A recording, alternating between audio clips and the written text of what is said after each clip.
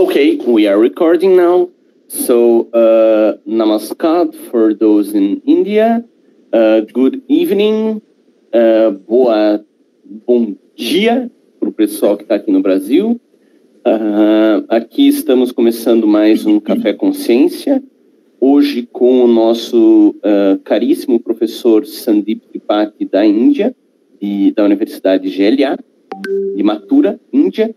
E ele vai falar hoje sobre é, independência e é, processo de descolonização, decolonização na Índia. É, so, good morning for those in Brazil. Um, namaskar for my friends in India. Um, we are today in Café Consciência from Universidade de Pinhais. Uh, in cooperation today with uh, GLA University Mathura, India. Uh, we have our very distinguished guest, Dr. Sandeep Tripathi, who is uh, going to speak with us about independence and decolonization. I would, I am really appreciating that we have many people, not only from Faculdade de Pinhais, Brazil, but we also have our distinguished professors from the university, and we also have uh, professors from São Paulo. I have just seen that Professor Emilio Mendonça from GEBRICS USP has also joined us. So um, in I will speak in English because they they understand that. Uh, thank you very much, my friends from GEBRICS, because uh, you make this event very very special for our dear students from uh, FAPI, Universidade, uh, Faculdade de Pinhais. And I also thank everyone that is coming from India to watch this event. This makes our cooperation much, uh, much more beautiful, I would say, because we are showing that we have two different countries who can cooperate and two countries who have a very deep uh, uh, future ahead of them. So with that, I thank you very much, Professor Sandeep Tripathi, and I will give you the floor. Thank you very much. Namaskar and um, Danyavad. Danyavad for being here. Thank you very thank much. You. Muito obrigado. Professor, thank you have the floor. Thank you so much. Uh, first of all, uh, on behalf of the Institute of Legal Studies and Research, ILSR GL University. I would like to thank uh, Professor Cassio Zin, uh, Professor of International Law, uh, Faculty of Pinhais, Brazil, that uh, you provided me such an opportunity uh, to deliver a lecture on this important topic that is very, very close to India and, of course, uh, to Brazil also. I would like to thank uh, uh, Uh, uh, faculty uh, Dean, Faculty of Law, Professor uh, Dr. Muriel Muraro, uh, uh, for uh, organizing this beautiful program. that is a very amazing the way you organized, and as well as I would like I would like I would like to also thank my colleague Professor Jones Nantala. the last one month before uh, have shared uh, you know, a platform of international conference. Uh, he's a very good friend of mine. And thank you, Professor Nantala.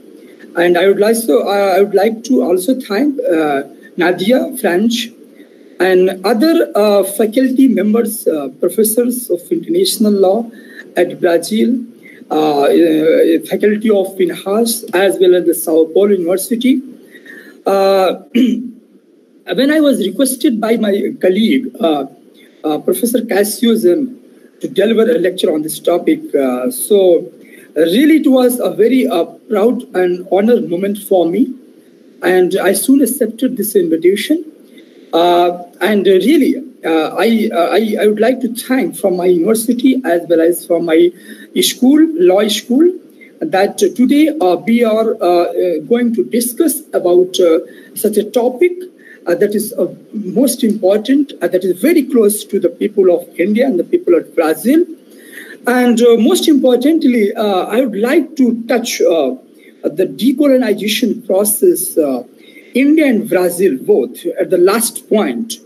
So it will show how uh, both countries experience the decolonization's experience. So that, that would be important uh, uh, part of this lecture. Now uh, I would like to uh, focus my uh, some some of the lecture segments. So dear Professor Cassio, can you move the slide first? Next. I, I will stop you a little bit, Professor, so that I can translate.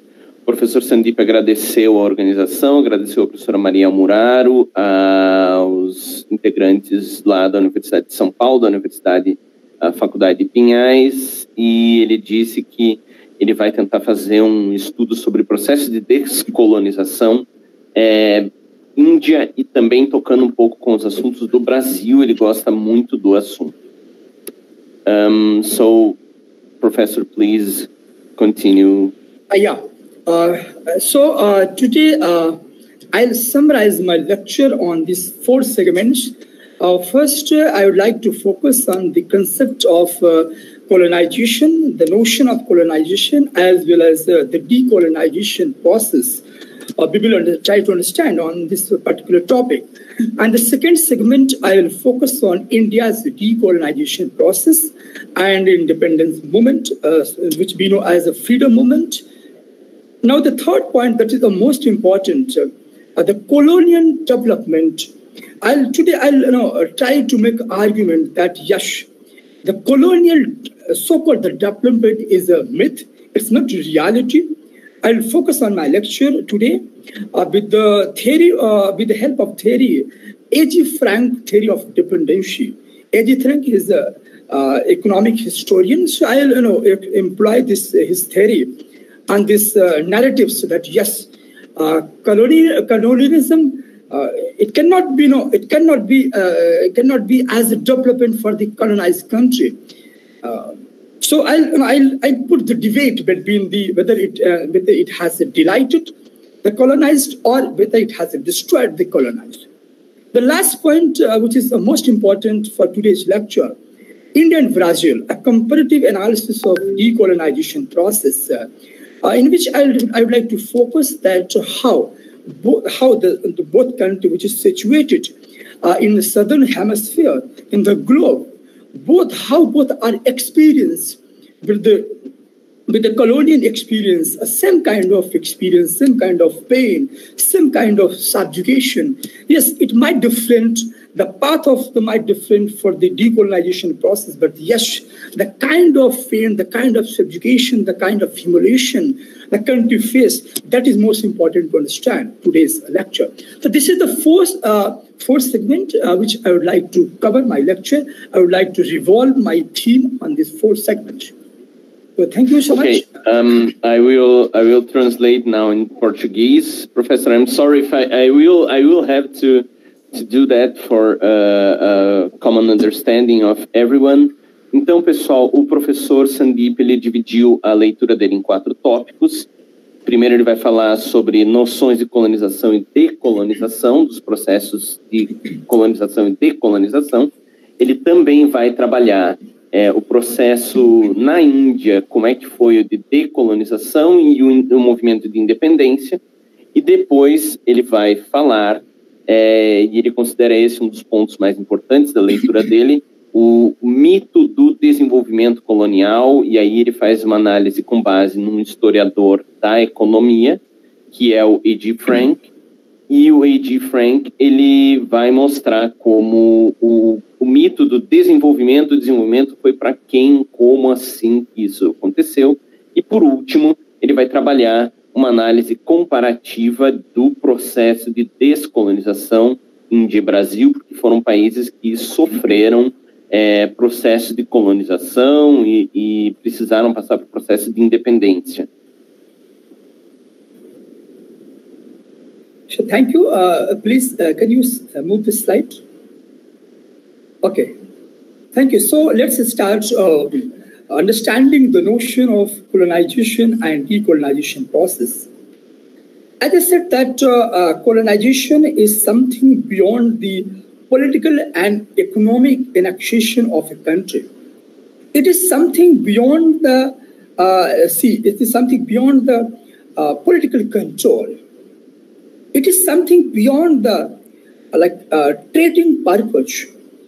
Uh, though we, uh, we understand, we know that historically all the colonizers came as a trading, a trading pattern, a trading, you know, line of argument. But somehow, you know, gradually they have tried to or absorb themselves in the Shem colonies. So it is somehow beyond the uh, beyond the um, uh, no, uh, economic and political structure. It is a, kind of mindset of. It is a kind of the dominance that is established by the colonizer on the colony. It is somehow the attitude. It is somehow the latitude, altitude, the angle. It is somehow the you know, pattern of thinking and that is why after the, after the independence, uh, what we call that we are independent country, there is a discourse that yes, there is a colonized mindset. There is a discourse, yes, yes, yes there is a colonial legacy. What the legacy? Legacy is a mindset of because they left the country, but still there is a tradition of uh, experience, colonial experience. So somehow it is beyond political economic structure, economic dominance, it establishes, as I said, it establishes you know, economic, political, social, psychological, cultural, the, all the manifestation that controls, that controls the colonized people. So this is somewhat hey, the sorry, sorry, professor. I will have to stop you sometimes to, to do the translation.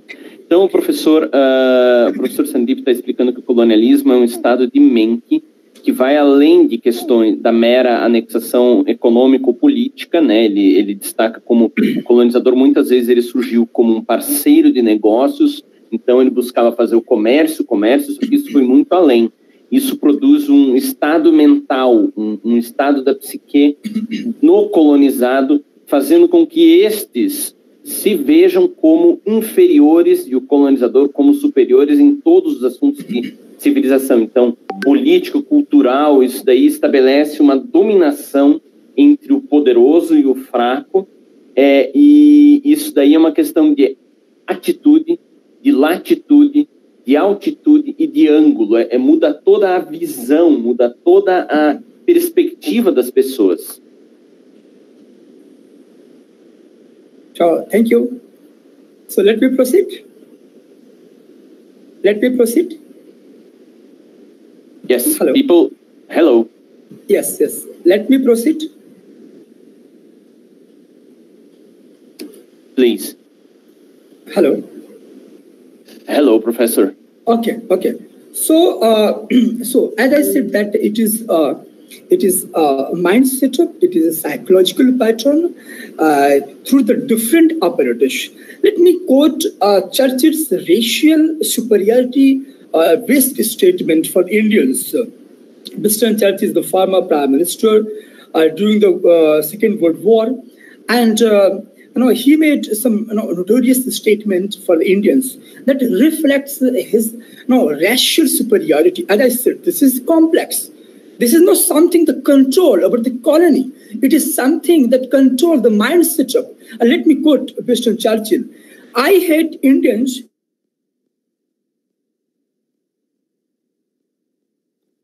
Eu acho que o professor Sandy pode ter tido um problema de é, conexão agora. Ele disse que podiam ter hoje alguns problemas de é, conexão com ele lá na Índia por causa de uma tempestade. I believe that Professor Sandeep uh, is um, offline. He had a little bit of problem, and he will reconnect soon. He he told us that maybe he would have some uh, power shortages issues today. Um, but uh, as soon as he gets back, we will. Uh, okay, Professor, we are back. I think you had a small uh, uh, connection issue. Okay. So okay. please, uh, please. Okay. Sorry for the disturbance. It will happen. In, in so yes, I was uh, I was explaining uh, the church's statement uh, uh, that uh, he said, I hate Indians, they are a beastly people with the beastly religion. Are you getting me? My voice is clear? Hello? Yes, it's clear. Okay. It's perfect. Okay, okay. So uh, let the viceroy sit on the back of a giant elephant and tremble Gandhi into the dirt. So see how we can see how he made such kind of remarks on the Indian uh, the people and the Indian leadership.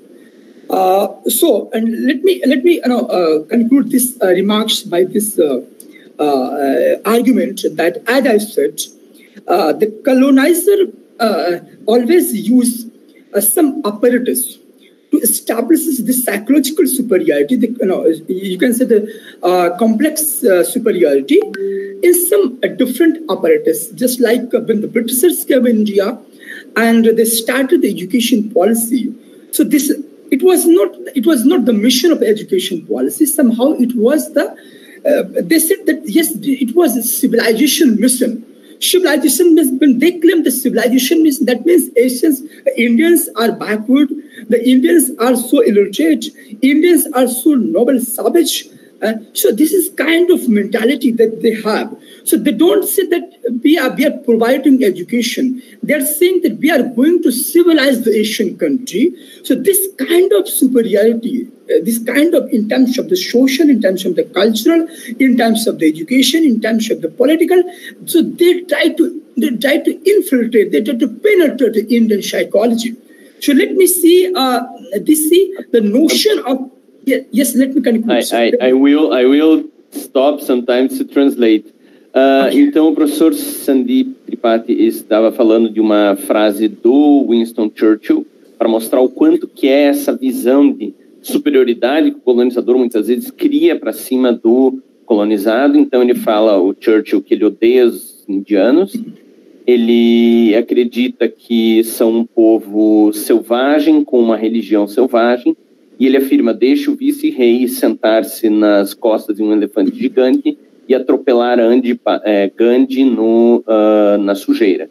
Ele diz que, por exemplo, na questão da educação, nunca foi visto pelo colonizador britânico um método de vamos educar as pessoas, vamos pensar em uma, uma educação real, mas sempre foi visto como aquela visão de colonizar, como se o outro fosse o selvagem e que precisasse ser é, trazido para a civilização, como se o, o, o superior europeizado fosse é, é, mostrar uma cultura superior, mostrar a civilização e trazer a civilização para a Índia. Okay. Thank you, Professor. Okay. So, uh, on, this background, on this context, uh, I think 1948, when the uh, UN, UN declares it as all kinds of uh, no, uh, colonizers, all kind of uh, colonism, uh, you can say that all the manifestations of the colonialism is the kind of evil. Got it? It cannot be justified. And that is why, uh, after the Second World War, when some European country they declare that imperialist power, but they don't they, they don't recall themselves as a you know colonist because colonist is all about you know exploiter. They, they are just referred as exploiter. So that is why UN declares the, in all its manifestation, colonialism is evil, and uh, every person has a right to self-determination. Should the, the, uh, the, slogan of the self-determination, the slogan of you know, uh, it, it becomes vital for uh, for the decolonization process. Uh, so this is all about the concept of uh, colonialism. that yes, directly it controls a country through uh, its various mm, uh, apparatus like uh, education system, like cultural system, like political power, like leadership qualities, uh, and, and and it appears like this is you know oriented for the economic you know benefits. But however, however, it is deeply rooted in the psychology. So this is all about the colonialism. Um, Então, o professor é, explica que é, não há uma justificativa, não existe fundamento para você poder justificar o colonialismo, especialmente depois da Segunda Guerra Mundial. Então, por isso que é, muitos países começaram a se tornar independentes buscar a independência, o processo de decolonização, e eles, é, nas declarações da ONU, afirmando que todos os, uh, que isso daí seria maligno, seria errado, e isso daí é uma forma de dominação, inclusive econômica, que ela pode surgir por diferentes, é, diferentes é, mecanismos, né? Então, mecanismos educacionais, econômicos, uh, mecanismos de dominação política, controle de liderança, e, e aí por isso daí que surgiram um, dúvidas. Uh, Professor Sandeep, uh, one uh, student of yours, I believe, she asked to make uh, questions um, about questions. Everyone uh, would like if you could write, pessoal que tem perguntas, please write questions in the chat. Uh, it can be in Portuguese and it can be in English.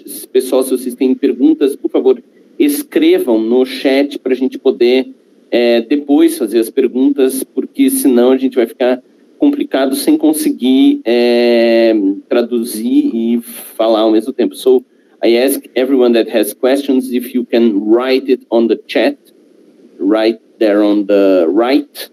you can write, and then we, after the, the lecture, we can ask Professor Tripathi. So uh, sorry to interrupt you again, Professor. Okay. So, uh, so let us see uh, uh the process of colonization. Uh, how, uh, how did it start? let us decoding the colonization process. by the 16th century, as we know that Brazil and India has experienced, and that the 16th century, uh, early the 16th century, both countries uh, started to uh, under the influence of the Portuguese.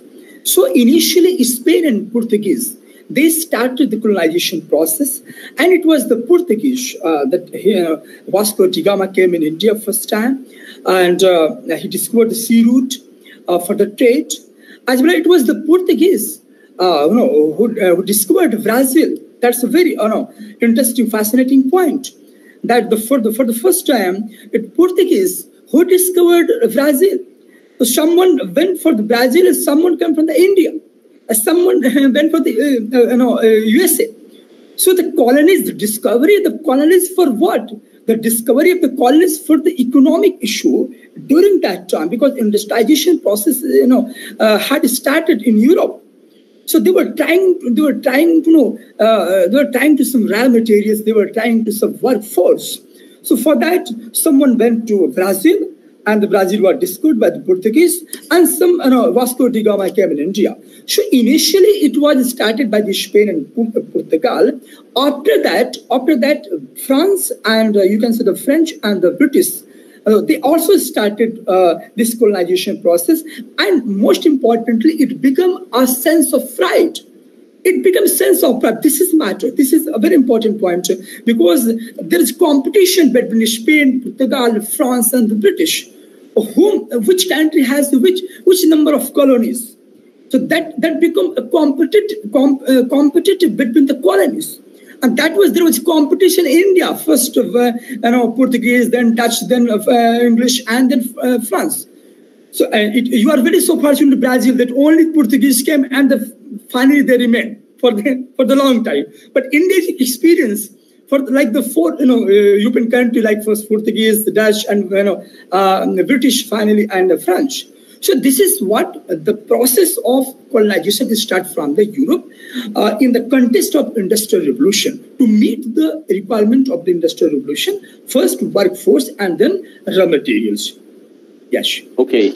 Um, I will translate. Então, o professor Sandip explicou que o processo de colonização que foi iniciado lá no começo por Espanha e Portugal teve muitas similaridades entre o Brasil e a Índia no começo, especialmente porque as pessoas vieram para cá, tentaram dominação militar, depois Vasco da Gama foi até a Índia, então eles tiveram na Índia a experiência de terem uma fase de colonização por Portugal, e depois, aí ele falou que aí vem uma diferença, né? Enquanto o Brasil ele teve aspas a sorte de ter tido apenas uma potência colonial para cima deles durante a colonização, a Índia não, a Índia teve que passar primeiro pelos portugueses, depois pelos uh, depois pelos holandeses, depois pelos britânicos, e que isso daí ele destaca que se tornou praticamente uma, uma questão de orgulho entre as potências europeias para dizer quem que tinha mais colônias, quem que tinha colônia mais importante, mais relevante do ponto de vista econômico. E que isso daí aconteceu também, a gente tem que lembrar, no contexto da Revolução Industrial. Então, em primeiro passo, as colônias elas eram tidas como fonte de matéria-prima, né? Então, força de trabalho, aliás, força de trabalho, né, pessoas, e depois isso daí foi visto como uma fonte de, é, de matéria-prima pura, crua, para industrialização na Europa. Como Yeah, Professor, can you move the slide? Yes. Hello. Am I clear to you? Hello. Yes, yes, yes. It's it's, okay. it's perfect. Okay. Okay. So now this is all about the colonization. And uh, now I'll, focus on the decolonization because this term is important for today's lecture. Uh, because the decolonization comes later, first the colonization and the, the second process, then the decolonization. Uh, as my dear friends, that uh, the term itself denotes the decolonization, a process to acquire independence from the uh, uh colonizers a colony that will try to uh, get independence. Uh, independence of what? First of all, independence, let me clear political independence, because the political independence, the other independence will start soon, like economic independence, cultural, social, other, other, other kind of independence. Eu vou aproveitar que o professor teve uma queda de eletricidade, ele estava falando o que, que é descolonização, Decolonização é um processo através do qual um país é, busca adquirir independência, em primeiro lugar, a independência política. Né? É, acredito que a gente vai ter algumas interrupções assim. Um, Alan colocou alguma pergunta. Eu peço, Alan, que é, pode deixar que eu traduzo para o inglês o Indy, é, a gente tem que ter bem certeza do que a gente vai perguntar, se a gente vai perguntar Indy para ele. Mas eu acredito que a gente consegue, como funciona, está fazendo exatamente a mesma pergunta, como funciona a ligação econômica entre Índia e os demais países no período pré-independência? Isso, professor. Tá. Eu só, eu só eu tô... Uhum, tá. Sâmia, eu vou traduzindo conforme o professor for falando, né?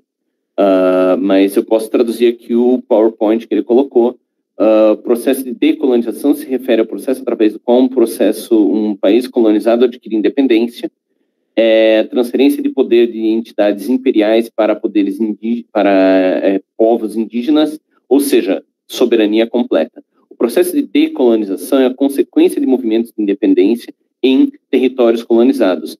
Ele toma, ele, ele ocorre em é, em sequência de resistência e revolta contra o poder colonial pelos povos indígenas. Falando de modo histórico, o processo de descolonização ocorre em três principais fases.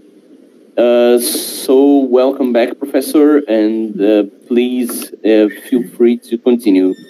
Thank you very uh, much. extremely sorry for the disturbance, uh, the network, uh, sometime connectivity issues, sometime power break. So I'm extremely sorry for that. It is absolutely not a problem, uh, Professor Sandeep. We are very glad that you are here and everything is flowing just well. And I will uh, try to translate in each sentence or two. If you could uh, make a little bit of pause between every two sentences or three sentences so that I can translate and then we'll have later, I think professor would like to have the questions after the lecture, right? Sure, sure, sure. I'll, I'll keep okay, in mind. Uh, so, okay. So, as I said, the decolonization refers to the process through which a colonized country acquire uh, independence. Uh, that independence, uh, in terms of the political independence, and uh, if the colonized uh, country acquire political independence, then other kind of independence like social, uh, like cultural and economic, it will, you know, it will be established uh, automatically. Got it? So decolonization, this though it is a long-standing process. For example, India got independent 1947. However, decolonization process is still is still going on. So this is not this is this is there is there's difference in the decolonization and the independence. Got it? O, o professor estava explicando que é, então um primeiro momento, um primeiro passo é quando ocorre é, o processo de independência política e aí em seguida você tem outros processos de independência, por exemplo, cultural e, e econômica e a Índia, ele está dando exemplo que a Índia se tornou politicamente independente em 1947, mas o processo de decolonização da Índia é um processo que ainda está em andamento, porque ele ocorre normalmente depois da independência política e envolve outros processos. Okay. So, uh, uh, just this is about the decolonization process. Uh, the term itself denotes that it is not overnight or no, it is not something any declaration. Decolonization is not something declaration of independence.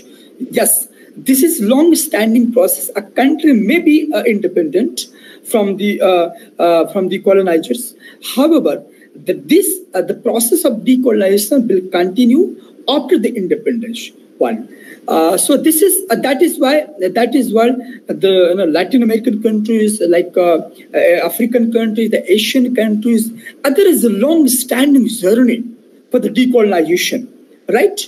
and uh, the people are demanding for the, the self culture. People are demanding indigenous, no, indigenous local languages, in, indigenous local custom traditions that has been undermined by the colonizers. So, uh, so this is a process that that will take uh, the time. It, it might be go for the century. It might be go for the uh, century after the century. Because as I said during my uh, definition interpretation of colonialism, that the colonism is the mind setup, and the mind setup is not an issue of the uh, no no no. Uh, you can say disappear over the night. It cannot be del- deleted through the act of independence you know, it is it is an evolving process. So a decolonization is a process. Ok, uh, o professor Sandeep estava explicando que esse processo não ocorre de uma hora para outra, porque ele envolve uh, o estabelecimento de um mindset. Então ele diz que depois da independência, os países eles podem buscar o processo de decolonização, por exemplo, buscando tradições locais, cultura local, língua local, comunicação local, é, é, uh, povos locais para justamente é, tentar se livrar desta, desse estado mental que foi colocado pelo colonizador, e isso daí pode demorar um século, pode demorar dois séculos, pode demorar mais tempo, menos tempo, mas é um processo que busca a recuperação de alguma coisa local. E como a gente viu, o processo de colonização é um processo que envolve muito muitas uh, modalidades de dominação, então isso daí pode levar tempo para se uh, encerrar. Okay, so let me focus now uh, the phases, the history of decolonization. Uh, the decolonization took place in the three major phases. The first phase was the late 18th century and the early 19th century, is starting with the creation of the United States and ending with the freedom of Spanish and Portuguese colonies in the American continent. So this was the first decolonization process. This was the first American Declaration of Independence, Independence 1776. So this is no, it has you know, created a sense of consciousness. It has created a consciousness of self-determination that has espoused the other colonies. Uh, so the second phase, let me uh, point out the second phase.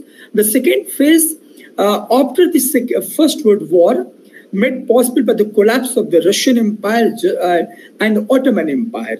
And the most importantly, the, the third phase, which are very, very important for all of us to understand, the decolonization process in the third phase that took after the Second World War, 1945 post 1945, there was there was a change in the geopolitical map in the world.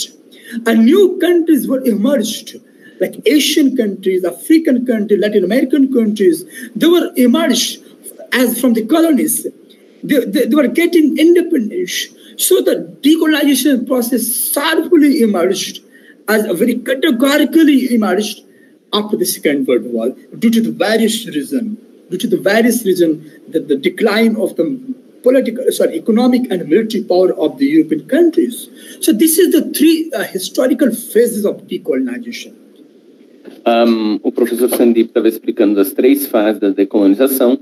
A primeira fase ele aponta como o final do século XVIII, início do século XIX, especialmente a partir da independência dos Estados Unidos em 1776 e depois com a liberdade das colônias portuguesas e espanholas aqui no continente na América Latina.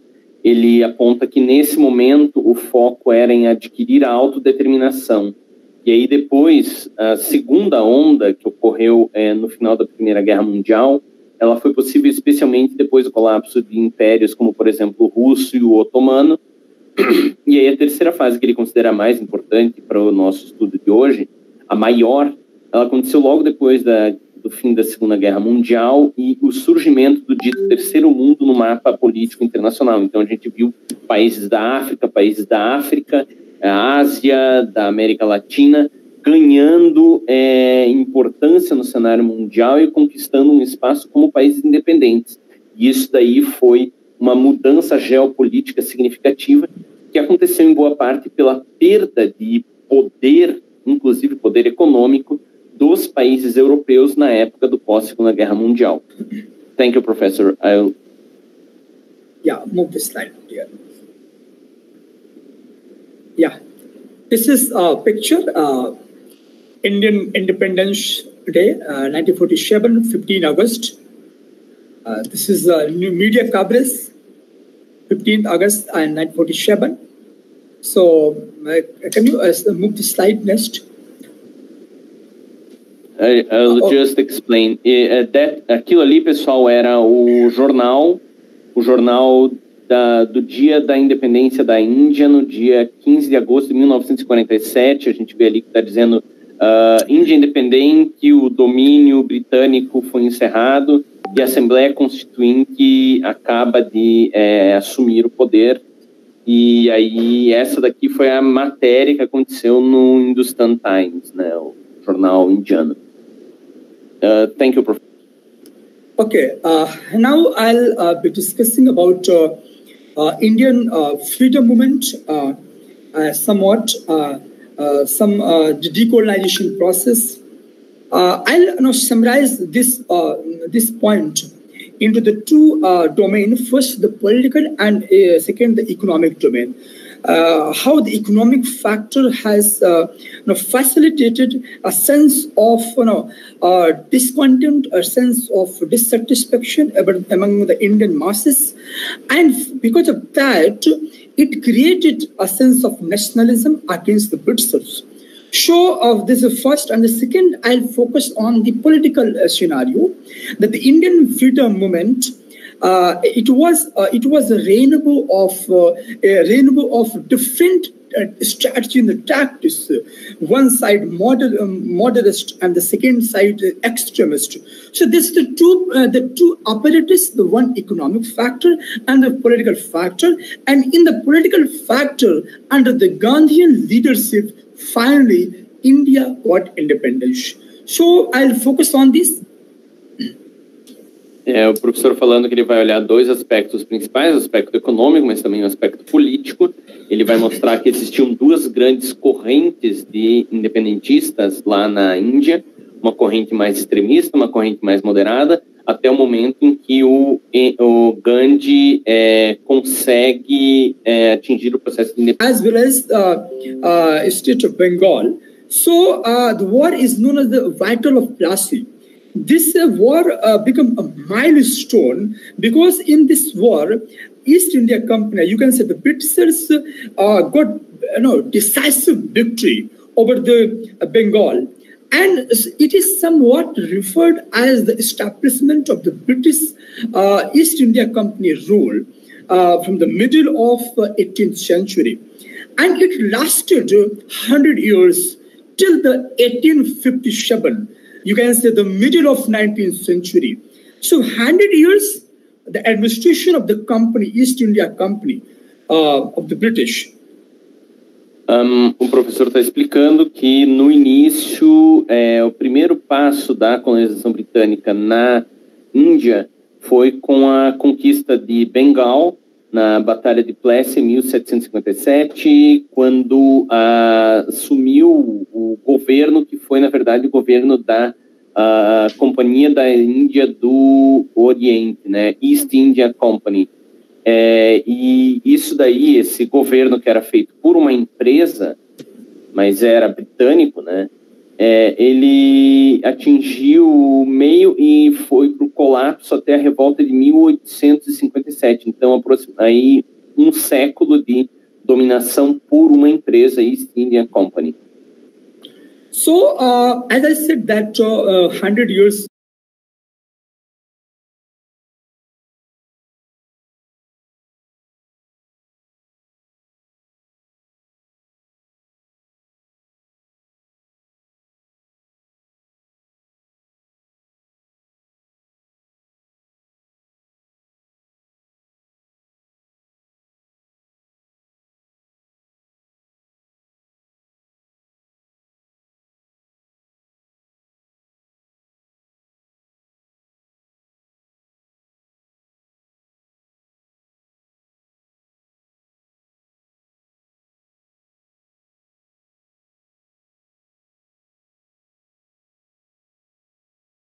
later. 1857. Uh, 1857 is a landmark year for the Indian uh, freedom struggle history. Uh, that uh, in this year there was the first independence war took place between the uh, Indian soldiers and the Britishers uh, army, and and and you can understand, Professor Jen, that the kind of discontent, the kind of you know desperation emerged from uh, in the Indian masses uh, against the Britishers. So within the hundred years, uh, no, they started, you know, they started voice against the Britishers, and uh, due to this uh, revolt, 1857, uh, some historians say it is revolt. Some say it is it was a first independence movement. There is a, there dispute, but however, it was the first landmark uh, no voice against the Britishers. So British no British government, British authority has shaken. Uh, the foundation of British authority has been shaken from this revolt, and after that, 1858, the British Crown established officially its authority in the Indian subcontinent. That is known as the British Raj, so which, which lasted 200 years uh, until the 1947. Sure. Uh, okay. Uh, sorry to. I, I have to interrupt sometimes, professor, to translate. Uh, então, o professor estava explicando que é, o que aconteceu em 1857 ainda é objeto de disputa entre historiadores. Alguns dizem que foi uma revolta, outros dizem que foi o início do movimento de independência da Índia, mas era um momento de saturação, um momento no qual os, é, a população local da Índia não suportava mais o governo da Companhia das Índias Orientais, e por conta disso daí, eles é, começaram a agir contra o governo, e aí o resultado foi que a coroa britânica passou a atuar no, no período que eles chamaram de Rule of Crown, né, que era o, o momento no qual os britânicos assumiram o controle da Índia agora não como uma empresa, mas como a própria coroa britânica, uh, como se fosse um território britânico puramente dito. Mas isso daí foi um momento fundamental para, é, em 1958, 1858, que os britânicos assumiram como um governo próprio deles, é, foi o um momento no qual a consciência nacional da Índia começou a surgir, na, nas, nas massas indianas e que isso daí facilitou o surgimento do movimento nacionalista na Índia. Okay, thank you sure. Uh, okay, sure. So, uh, as I said that uh, uh, onwards 1858, the British Raj established in India directory, directly, and uh, they started, no, they started subjugation, they started uh, the different kind of tactics to control the Indian continent. Uh, somewhere education through education policies, somewhere the, the, the different kind of mechanism they adopted. Uh, uh, because of that uh, subjugation and atrocities, you know, uh, Indian National Congress uh, uh, after 19, 1858, there was a landmark year is in the establishment of Indian National Congress, 1885. So this uh, this became as a platform the voice against the Britishers. Okay, so Indian National Congress become uh, a, a launching pad, uh, become a pad that raised a voice, uh, registered against the Britishers. Yes, it might be moderate or it might be extreme. There, there were the two different versions in Indian struggle against the Britishers. There are some moderates and there are some extremists. The moderates, they were trying to convince uh, Britishers through a, uh, soft power, and the extremists, they were trying to uh, throw the Britishers through extremist methodology. So, Então, ele, ele, ele explica que nessa época surgiu o Congresso Nacional Indiano, National Indian Congress, e que é, buscava o processo de independência, porém, haviam duas correntes, a corrente moderada e a corrente extremista, enquanto a corrente moderada ela buscava convencer os britânicos a assumirem é, um, um governo mais de consenso, ou ainda através do soft power, né, os lados mais extremistas buscavam isso através de métodos mais é, violentos. Okay, thank okay. you, Professor. Okay, okay. So, uh, in continuation, uh, this line of argument, as I said, that there was two uh, extremes, moderate and the extremist, and uh, the objective was the same: uh, freedom and uh, self-determination. Objective was the path was different. As I said, that Indian, you know, Indian national movement, you can say, Indian fight against the Britishers, it was somehow different from the Asian and African countries' experience, because some Asian countries and African countries they were they were trying to resort, uh, some no, guerrilla war, yeah, some extremist line extremely you know, communist line, uh, revolt and blood, you know, you can say the mm, uh, you know, bloodshed mechanism. But in Indian approach, uh, both versions were there, uh, the extremist and the moderate, and both are simultaneously going on this uh, both sides. And uh, and important, let me put some important figures of some extremist and the modernist. Just, just let me interrupt so I can I, I, I don't I don't have to translate too much, professor. Sorry. O professor estava explicando que no caso da Índia é, foi diferente de alguns outros casos da África e da Ásia que, por exemplo, tiveram visões diferentes de nacionalismo e é, enquanto em outros países da África e da Ásia a gente viu uma visão muito mais extremista, às vezes aproximando de é, noções de comunismo, às vezes aproximando de visões mais terroristas e derramamento de sangue. Na Índia, a gente teve as duas versões, a gente teve tanto uma versão mais violenta, mas a gente teve andando junto ao mesmo tempo um lado moderado. O objetivo era o mesmo, né? O objetivo tanto das correntes extremistas quanto das correntes é, das correntes moderadas era atingir a autodeterminação da Índia, né? A, independência política mas a experiência vivida na Índia foi diferente, então agora ele gostaria de falar de algumas é, figuras importantes nos dois lados da Índia, né? Okay. Uh, thank you, Professor. So, uh, uh, let me quote uh, Arvind Ghosh. Uh, Arvind Ghosh uh, and Savarkar, they were trying to you know, liberate country through the mythological figure. Like for uh, Arvind Ghosh, appeal to Shakti, that means the power, uh, that symbolizes like uh, Durga, Bhavani, Kali, is the Indian mythological goddess, a symbol of power. Yes, we can resist, we can take our independence to the power approach. Uh, we don't need to any kind of prayer, uh, like like like like beggars. look, okay, they don't leave the country if they try to resort to the kind of soft power. Should they invoke uh, mythological figures, the goddess like Durga, Kali, uh, Bhavani, uh, by the Aurobindo Ghosh, and Savarkar, he praised Lord Rama as mythological figure in Indian philosophy. Uh, she, uh, he said that yes, Lord Okay, Rama. yeah, professor, professor, Okay. I will I will have to go slow here. I'm so sorry. Ah, o professor estava explicando que é, para o movimento, por exemplo, do Aurobindo Rose, é, houve um apelo para Shakti, a noção de Shakti é, religiosa na Índia, que era a noção de poder, mas na sua forma criativa, mas também na sua forma violenta, né?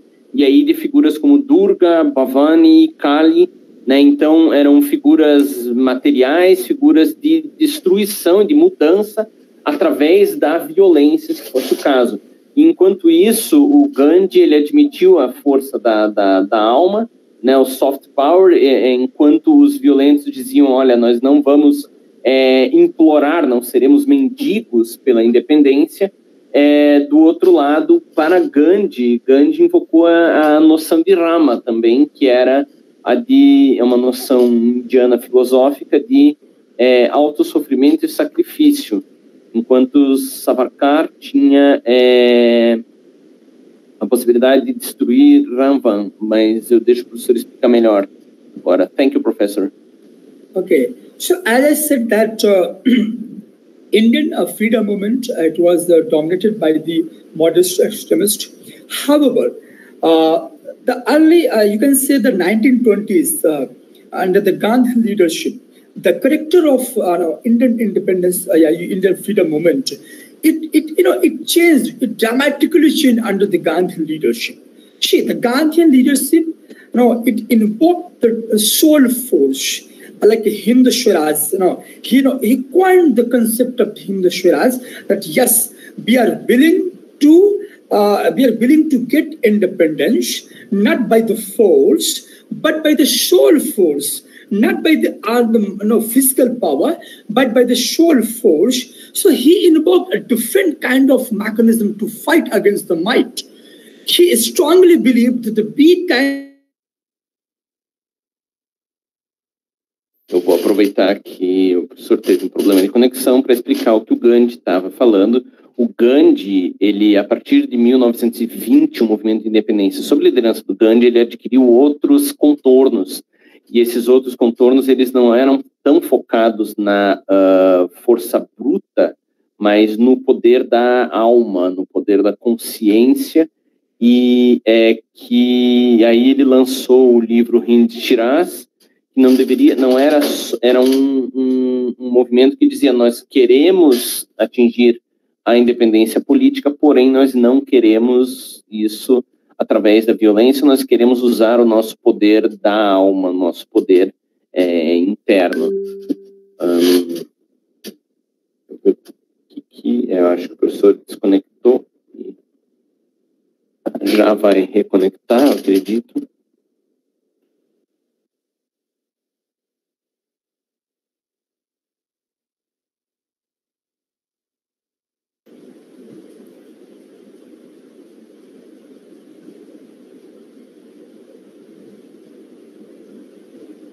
Hello. Hello, professor. Hello. We are back. Hello. Hello, professor. Uh, Yeah. Can you? We are back. Thank you. Okay. So, uh, as I said, uh, as I said, that the Gandhian, uh, under the Gandhi leadership, uh, uh, no, the, the nature of uh, fighting against the Britishers, it was decisively changed. And it was the Gandhi who, uh, who changed uh, the character of uh, this fight from class to mass. It was the Gandhi who invoked the common people in the fight against the Britishers. And that is why, that is why, uh, under his leadership, uh, you know, uh, around uh, uh, 30 years, around the tw- 20, 25 years, finally we got independent country. So he changed this, the fight from the class, because earlier Indian National Congress was, you know, identified the class character. but the Gandhi leadership, he touched the marsh, he touched the mass sentiment, you know, he changed himself according to the marsh, and he realized that yes, I can fight with the might power, a power that's, uh, that, that, that, that doesn't sit, uh, the, the sun that doesn't sit in the world. So we can only fight through the marsh, through the marsh power. So this is the unique methodology that was used by the Gandhi. Então, o que o Gandhi fez foi é, transformar uma ideia de uma, uh, uma libertação, uma independência focada na ideia de classe, né? então a luta era de classe, mas aí ele mudou isso para uma, uma questão das massas. Né? Então ele trouxe o sentimento das massas para o movimento de independência. Ele falou: eu não vou fazer desse momento de independência um momento de classes, mas eu vou enfrentar um império uh, no qual o sol não se põe, os britânicos, eu vou usar o poder das massas, eu vou integrar as massas no meu processo de independência. Então, foi essa integração que fez com que, é, 25 anos depois do Gandhi ter é, iniciado sua liderança nos, uh, no movimento de independência da Índia, que se atingisse efetivamente a independência da Índia. So, thank you, Professor. Okay, let, uh, please uh, move the slide. Yes. Now, the second uh, segment, uh, which I had already mentioned, that uh, economic factor uh, that created a sense of consciousness against the Britishers. So let me uh, proceed this logic. Uh, uh, Indian economic historian Dadabhai Naoroji and Ramesh Datta viewed that the British Raj had caused untold suffering to the Indian economy by draining resources through the taxation and through the process of industrialization. It destroyed the livelihood of millions of artisans and turned into powerful weapon in the hands of Indian nationalists. Uh, my dear uh, friend, uh, Dadabhai Naoroji, uh, just me conclude this sentence. Dadabhai Naoroji as a as a that am I clear to you? My voice is clear? Yes, it's perfect. Okay. Okay, so Dadabhai Naoroji, as economic uh, historian, uh, no, you know, he tried to the British Empire, the British Empire, the policy of taxation, the policy of you know, uh, no, uh, cruelty uh, to suppress uh, the Indian uh, textiles industry, uh, Indian no artisans. it created a discontent among the masses, and it provided fertile for the nationalism in India. Um, então, o professor está explicando, é, citando dois historiadores econômicos indianos, o Naurod e Dutt, que viram que o Raj britânico, né, a liderança britânica, causou um sofrimento incontável à economia, à economia indiana através de sugar os recursos com é, taxação e o processo de desindustrialização. Isso daí destruiu a vida de milhares de artesãos, ele falou, o professor mencionou a questão de é, né? Os tecelães indianos que perderam o, o modo de vida é, e isso daí se tornou um instrumento muito poderoso nas mãos de nacionalistas indianos, né? As pessoas ficaram com um ressentimento muito grande contra os britânicos porque os britânicos simplesmente impuseram medidas econômicas tão fortes que o sofrimento era muito grande para a população da Índia e isso daí é, fez com que houvesse um nacionalismo econômico indiano ou seja, as pessoas buscassem é, a independência porque elas viram o, o, o, problema econômico que os britânicos trouxeram para o povo, para as massas indianas, né? Então é isso que o professor colocou. Thank you, professor. Okay. Uh, let me uh, quote. Uh, let me quote uh, English uh, historian, uh, English economic historian Angus Maddison. He said that a country uh, once uh, the country once uh, once been among the world's richest for 23rd percent of global GDP had been reduced by 1947, uh, turned into uh, into one of the poorest, one of the uh, most backward and most illiterate and diseased society on the earth. This is somehow English British historian illustrated. Why did British come in India? They come India in a powerful state, a country which which was sharing 23% of global GDP. This was the important. And by, by 1947, it turned into the as most backward, most illiterate, as well as the most diseased society on the earth because of the British policy, British exploitative policy. É, então ele está citando um historiador britânico que em 1820, né, ele, o historiador britânico, na verdade, ele notou que em 1820 uh, o que, que os britânicos fizeram desse ano até a independência da Índia, ele mostrou que é, a, a, Índia, antes da colonização britânica, antes da dominação britânica, ela era um dos países mais ricos do mundo, responsáveis por 23% do PIB global. E isso daí fez, é, é, é, e até 1947, é, a Índia foi transformada em um dos países mais ricos do mundo, um dos países mais importantes da economia global, é, para um dos países mais pobres, mais retrógrados com mais analfabetismo e com mais doenças na Terra. Então, para vocês verem o quanto que um historiador britânico conseguiu apontar, é, mostrando o desastre que os britânicos fizeram na Índia. Okay, let me uh, let me let me proceed this uh, argument. Uh, from 1900 uh, uh, to 1947, the rate of Indian economic growth was less even than one percent. Can you imagine, Professor Cassio? A country, a country that was country that was sharing, that was the 23rd percent of global GDP. From 1900 to 1947, the growth rate of Indian economy was below the 1%. And but the, when the British rule left India, it was the 16% literacy rate, as well as uh, the, uh, it was 16% literacy rate. No domestic industry, over the 90% people were living under the below poverty line. This is the gift. This is the colonization gift of the British Empire to India. It is response. It is just just just wait, just a uh, few seconds. It is response to those scholars who argue that this colonization process that benefited the Indian economy, benefited the Indian Indian economic system. It has integrated the in, uh, world economic system. This is this this fact. The figures demonstrates that the Indian Indian economy has been ruined under the British Empire. Então, o professor apontou que de 1900 até 1947, o crescimento da economia da Índia foi menos de 1% ao longo desses 47 anos.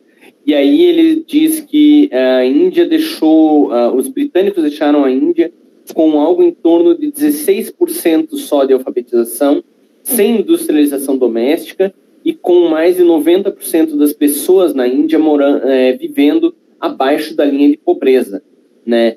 E aí ele diz que isso daí, esses, é, esses dados históricos servem para é, contrapor aquela visão que se tem no Reino Unido hoje de que a colonização teria servido para beneficiar a Índia, para trazer a civilização. Como é que pode um país que era tão estruturado antes da dominação britânica ter sido deixado numa situação como essas por conta dos contornos econômicos que os britânicos impuseram ao país. Thank you, Professor. Okay, let me again add some figures and facts. Uh, that uh, uh, especially the literacy rate, uh, because uh, somehow it is, you know, a comment on that uh, British education system has benefited the Indian Indian social system, Indian education system. So let me put some figures here. Like during when the British came in India, uh, during the time, 3.2% literacy rate in 1600. When they left India, 16% literacy rate. That means 12% uh, uh, increasement. And today, Indian literacy rate is 74%. You can imagine that independent country achieved from 16 to 74 in the 70 years and the 300 years from 1600 to 1947 it was only 12% increasement of literacy rate so this is the response to those uh, to those Anglo-Saxon scholars who appreciated uh, the, the, the, legacy of the you know, colonization. Uh, British colonized, the, it has benefited the Indian education system. This, uh, this figure refutes this claim, Professor Cassio. Então, o professor está dizendo mais um dado que prova, é, para refutar os pesquisadores anglo-saxões que dizem que a educação da Índia se beneficiou muito como nunca durante o governo britânico. É, ele disse que, olha, durante a época da colonização, a, a taxa de alfabetização na Índia no começo era de 3,2, lá nos anos 1600, quando começaram as colonizações na, na, na Índia, era 3,2 e a, até o fim da época colonial, né, da independência, era 16%. Então a gente teve um aumento de 12% mais ou menos.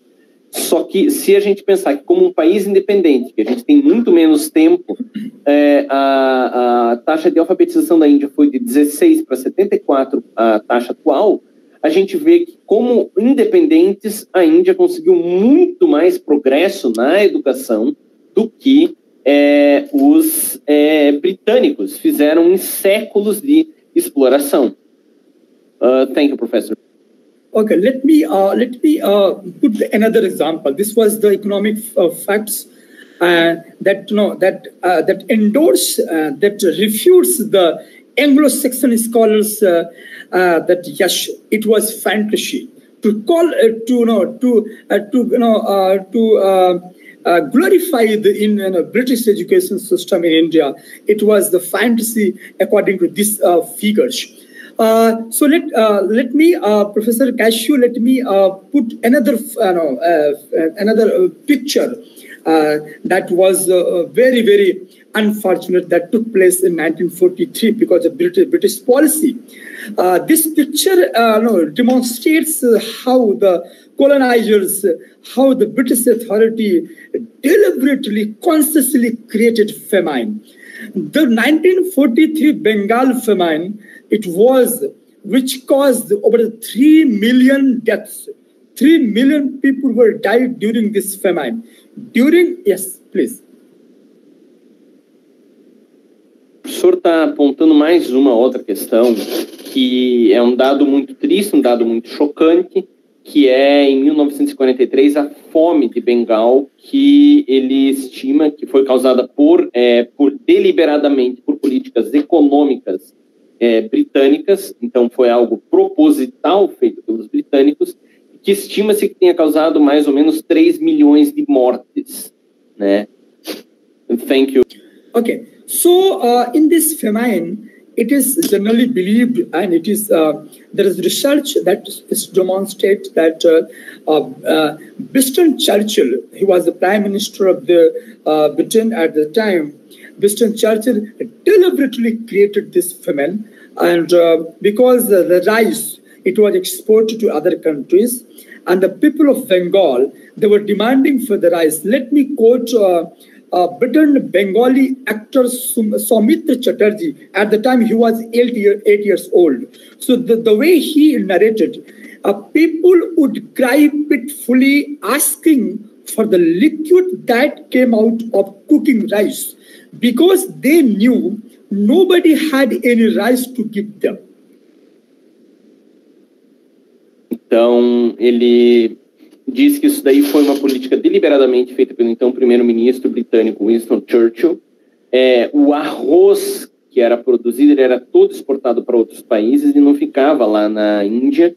E aí ele está citando um autor, é, um ator bengali é, veterano, o Sumitra Chatterjee, é, não sei se eu pronunciei corretamente, é, ele diz que as pessoas choravam é, em desespero, pedindo pelo líquido que sobrava do arroz cozido, porque eles sabiam que ninguém tinha arroz para dar para eles. Então as pessoas estavam buscando aquele líquido uh, do cozimento do arroz como uma sobra, né, para que eles pudessem comer aquilo. E eles imploravam pelo acesso a esse líquido como uma forma de nutrição deles. Thank you, professor. Okay, so uh, this uh, Bengal feminine it has created it, uh, it, has created, uh, you know, a kind of discontent, a kind of disappear, a kind of dissatisfaction about the this deliberated created a famine. And uh, when Churchill was blamed, so let me remind you, let me quote Churchill's statement, very, very shamelessly he quoted. You can imagine the kind of colonizing experience. He said, Indians were breeding like rabbits. During this, uh, uh, no, when the three millions people were dying, his statement, uh, uh, he made such kind of a statement. So you can realize uh, the kind of colonizing experience. Um, I'm shocked, Professor. Uh, well, I remember that next time I see a Churchill statue, I will destroy it. Bom, o professor está explicando é, que, para vocês verem por que, que, se diz tanto que a culpa era do Churchill ou que o Churchill estava envolvido nisso daí, é, enquanto estavam morrendo as 3 milhões de pessoas lá em Bengal, o Churchill ele tinha feito uma reunião de gabinete e ele falou: Ah, veja, os, as pessoas na Índia estão se reproduzindo como coelhos. Então foi essa a reação do Churchill quando falaram para ele da situação toda da fome. Ele falou: eles estão se reproduzindo como coelhos. Isso daí mostra o tipo de experiência de colonialização que os uh, indianos tiveram que sofrer nas mãos dos britânicos. So, uh, Thank you, Professor. Can you, can you move a slide? Okay, this is the picture of Bengal Feminine on 1943. Aí é uma foto da, uh, da fome em Bengal em 1943. Yes, please proceed the next, next slide. Okay, now the next uh, topic, uh, the next, sorry, the next point, uh, which is very important uh, for today, the discussion uh, around the colonial development, whether it was the development uh, some scholars uh, uh, cherished this colonial legacy, colonial experience that yes, colonies are benefited from the colonizers. So there is debate, and in this debate, Indian context, I'll you know I'll put the two figures. One is former Prime Minister Dr. Manmohan Singh, and another is the UN-based diplomat Shashi Tharoor. Now he's a politician. Uh, he's a member of parliament. So the two streams, Shashi Tharoor will talk uh, in so yes. let, let me just uh, sorry because we, we need to have it in, in português uh, então o professor Tripati agora vai falar sobre o outro ponto da fala dele que é a ideia do mito do desenvolvimento colonial ele afirma que existem debates alguns historiadores dizem que teria ocorrido desenvolvimento é, a, por conta do, da colonização mas que ele gostaria de apontar dois, é, duas referências aqui nesse aspecto.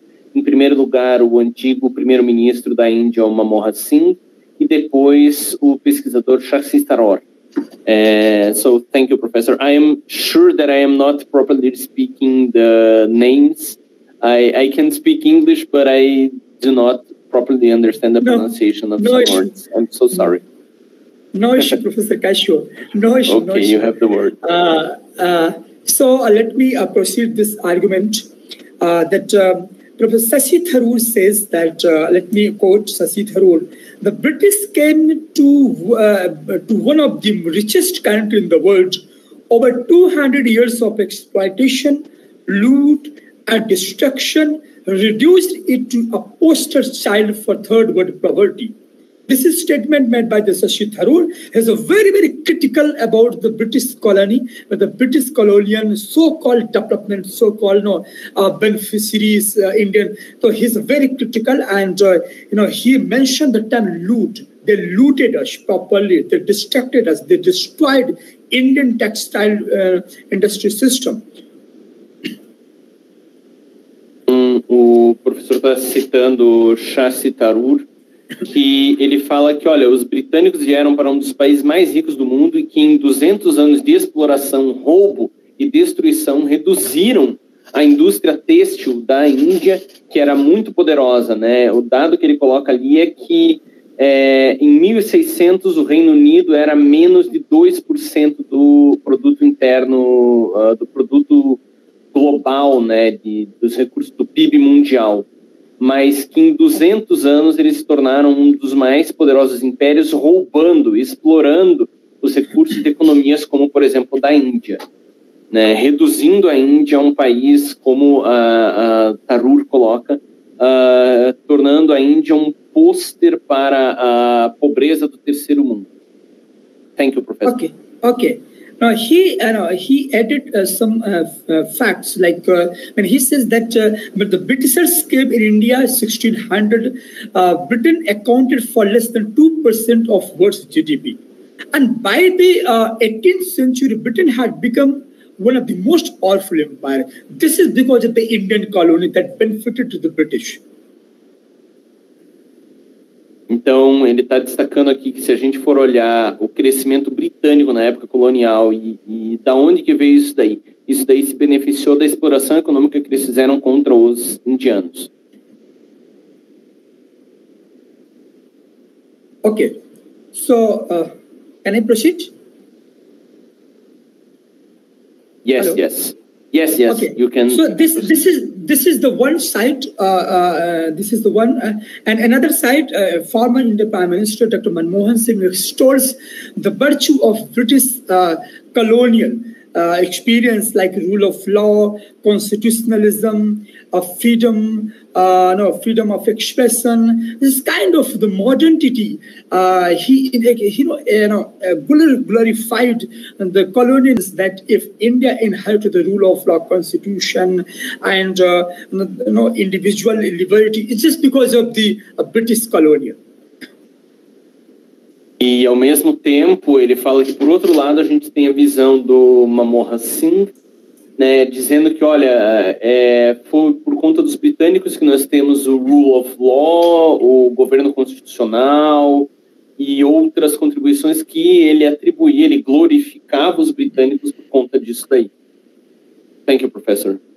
Okay, let me proceed the next debate. uh, I would like to you know, imply here A.G. Frank theory of dependency.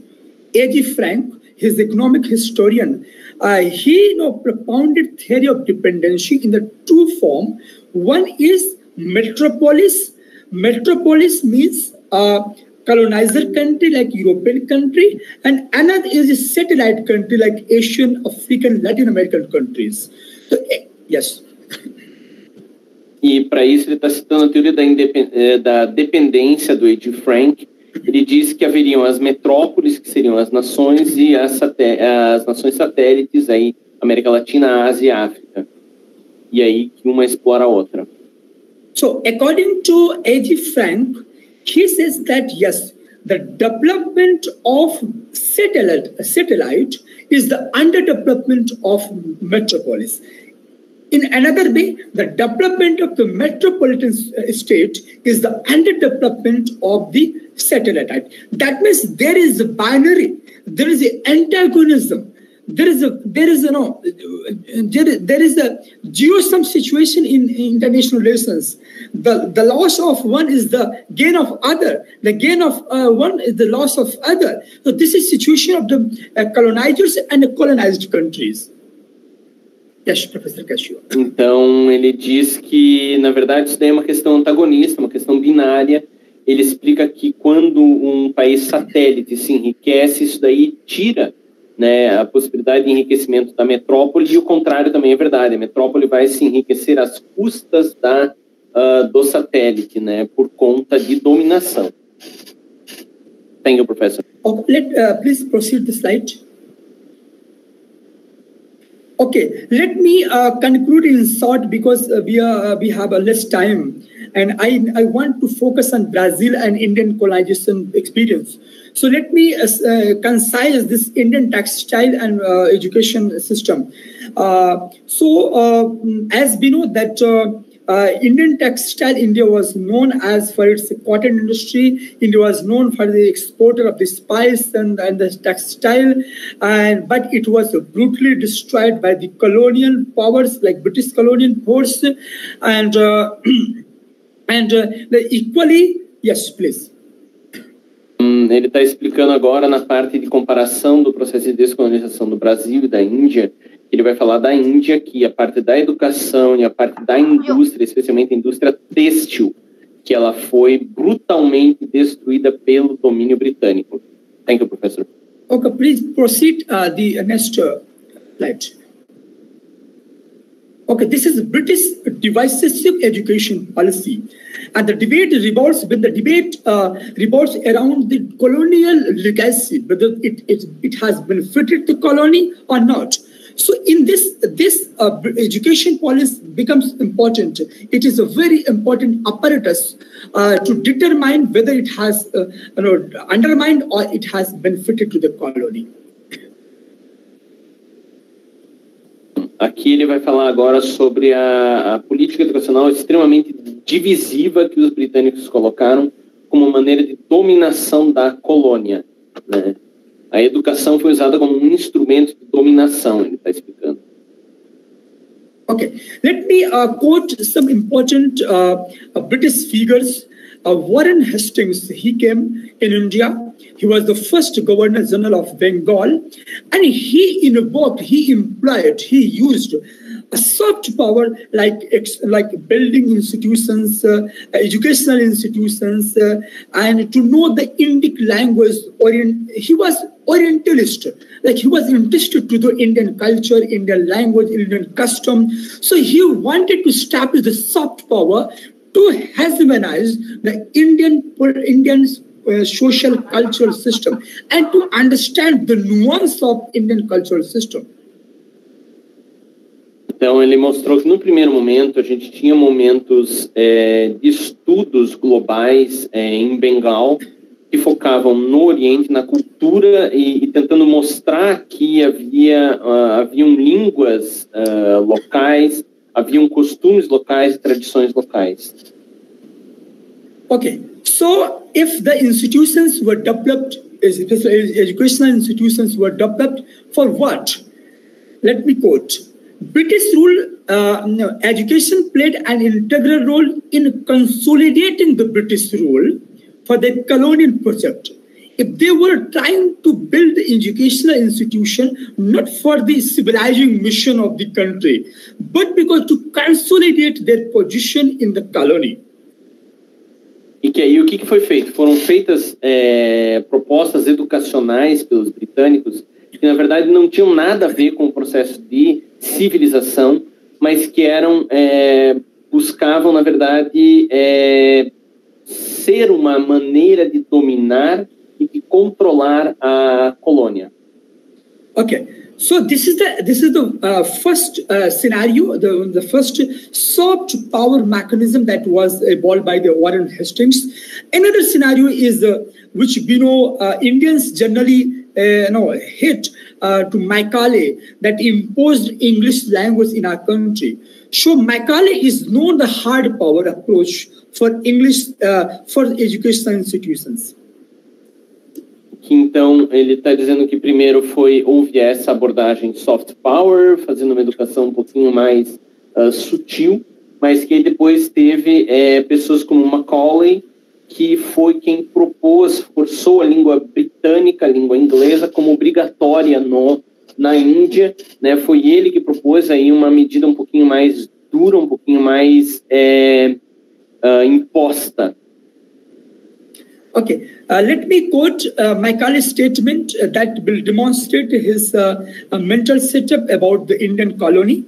Uh, you know, he said that uh, he wanted uh, he wanted to create a class of Indians who were Indian in color and blood, but English in taste and affiliation. This is kind of colonization. This is kind of colonization that will help to consolidate the Indian, sorry, British uh, uh, authority in Indian colony. E que uma frase que é atribuída a Macaulay era que ele queria, através dessa política educacional dele, é, criar uma classe de indianos, uma categoria de indianos que fosse indiano na cor da pele e no sangue, mas que no fundo, no fundo, no fundo tivesse uma, um pensamento, uma maneira britânica, e isso daí foi usado como um mecanismo de é, controle da colônia. Okay, please uh, proceed the uh, next slide. Yes, this is important. Uh, I think Uh, this is comparative analysis of decolonization process Brazil and India. And uh, I'll try to focus how the both country uh, now experience from the colonization process and uh, the way uh, Brazil uh, no, registered against the colonizers and the way India you know, registered revolt against the colonizers. So I'll try to make compare here. Então, o professor está dizendo agora que ele acredita que seja proveitoso fazer uma comparação, estudar como foram os processos de descolonização é, brasileiro e indiano. Então, é isso que ele vai fazer agora. Okay. So, Portuguese arrive in both India and Brazil. At the same time, in early 16th century, 1500, Pedro Álvares uh, Cabral, uh, he, who discovered the Brazil, got it uh, from uh, Portugal to uh, went to Brazil and discovered Brazil. Uh, he was a Portuguese nobleman, explorer, and navigator. And he also established a successful sea route to the India for the trade. E aí ele está falando aqui do Brasil, que o Brasil foi descoberto por é, Pedro Álvares Cabral, um nobre português, explorador e navegador, e que ele também estabeleceu uma rota comercial muito importante para a Índia para comércio. Yes, uh, uh, yes, uh, yes. There is no, there is the difference in no in Brazil and India. Uh, that means uh, difference in terms of that uh, when the Portuguese came in Brazil, so there was no settled no uh, population and there was there was there were tribes and uh, uh, no concrete nation the feeling of nation state. And that's why it was very easy for Portuguese to, uh, know, uh, to maintain uh, its colony in the uh, in the Brazil because Brazil is no uh, was known for its sugar, uh, for its no, Amazon forest. So as I I, I illustrated that the colonizers were looking such a raw material, such a such a market, and Brazil was you know fit for that.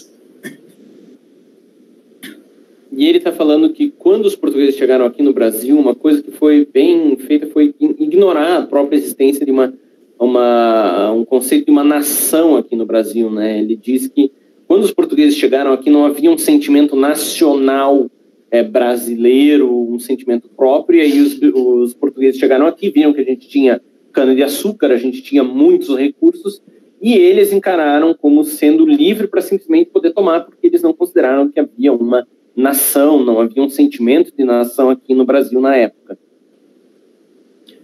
Okay, so uh, Professor Cassio, as I said, that uh, uh, the common, uh, the first uh, Brazil and the same experience in India, and they were you know, looking for a market uh, because I already said that in the Europe there was competition and the industrialization process started there.